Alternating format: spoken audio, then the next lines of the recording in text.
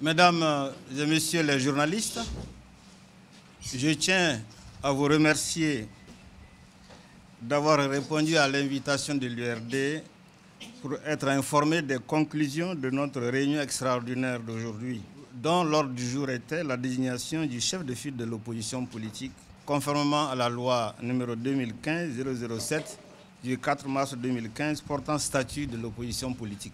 Je voudrais vous faire un bref rappel pour vous dire qu'au Mali, le statut juridique des partis politiques de l'opposition a été introduit dans le droit positif pour la première fois avec la loi numéro 95 073 du 15 septembre 1995, abrogée et remplacée par la loi 00047 du 13 juillet 2000.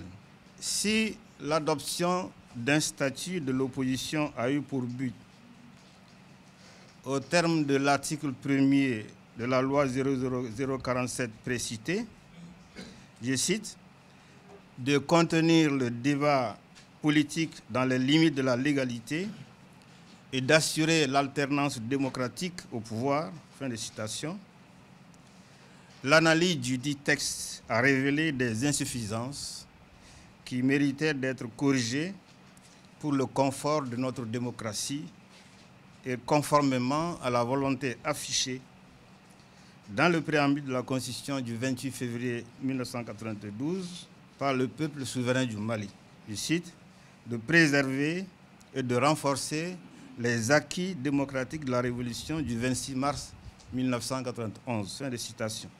Le candidat de l'URD à l'élection présidentielle de 2013 s'était engagé à corriger ces insuffisances, à renforcer les droits et devoirs de l'opposition afin de lui permettre d'exécuter correctement et dignement sa mission de service public. L'opposition est un élément important de la démocratie pluraliste.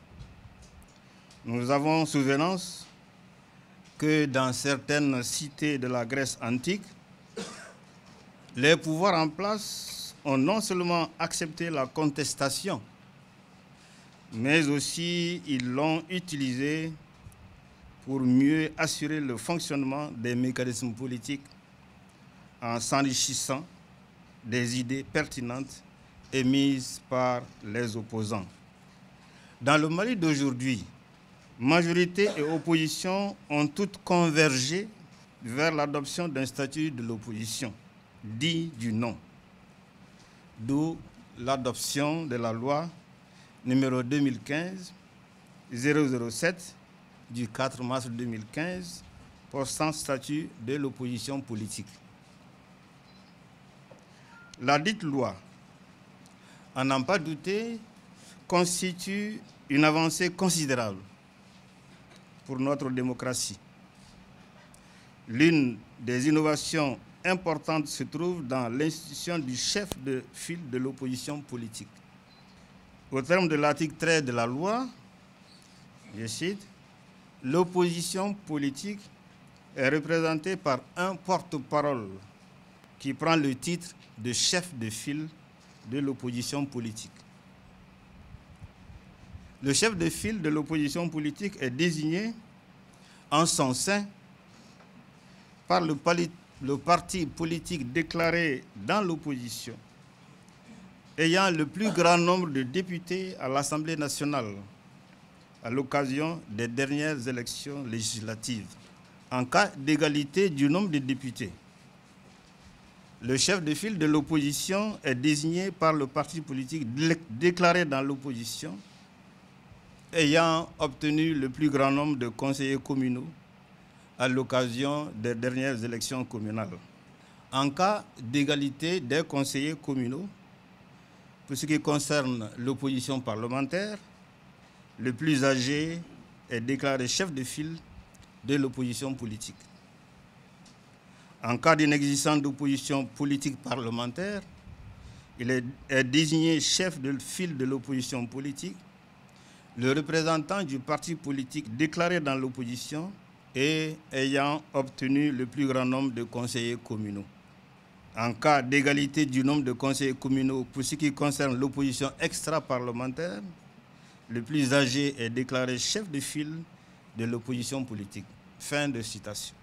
Comme vous le savez, conformément à l'arrêt de la Cour constitutionnelle numéro 2013 12 bar CCEL du 31 décembre 2013 portant proclamation des résultats définitifs du deuxième tour de, l'élection des députés à l'Assemblée nationale, l'Union pour la République et la démocratie est le parti politique déclaré dans l'opposition ayant le plus grand nombre de députés avec ses 18 députés. Aussi, l'URD doit désigner en son sein le chef de file de l'opposition. C'est pourquoi, réunis en réunion extraordinaire aujourd'hui à 17h, le bureau exécutif national de notre parti a désigné à l'unanimité chef de file de l'opposition politique, le camarade et honorable Soumaïla Sissé, député élu à Nyafinke, président du parti.